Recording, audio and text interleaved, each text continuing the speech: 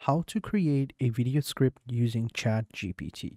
I'm on their main website called openai.com and over here blog page of ChatGPT and all we have to do is just simply click on it. So over here as you can see this is some of the examples that we can see compatibilities, limitations as well. So let's just say we're trying to find out five best tips on digital marketing or something similar. All we have to do is click on the send button.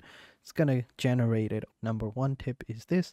Then we have two tips, three tips. Now, one thing I have to tell you, as I said before, couple of seconds ago that there are limitations. This will give you a detailed version of it, but you will have to fact check it later on since it gave us these five points. So what you'll have to do is actually see if what ChatGPT wrote is actually incorrect or not because sometimes it can be a little back and forth because video where that person was talking about ChatGPT and what ChatGPT did, it gave the backstory of another item instead of the item that that person searched for. So you have to make sure that that what you're writing is clear and what ChatGPT wrote to you is also clear. You have to basically fact check it. This is how it is. You can create new chats. Let's say something like this, right? And then we hit the send button too deep. As you can see, it says over here, here's a rough outline for a script, you can clearly see that it's a pretty decent script, right? So it says, Hi everyone, it's your favorite tech reviewer here, back with another video. And today we're taking a look at the brand new iPhone 13.